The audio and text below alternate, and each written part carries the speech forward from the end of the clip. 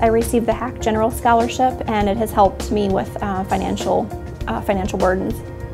My major is psychology and I chose it because I want to give hope to other people. I'm so grateful for HACC um, and what they've uh, meant for me in my life. They brought me far and I'm so grateful for the advisors, the mentors I've met along the way. So it's been very encouraging.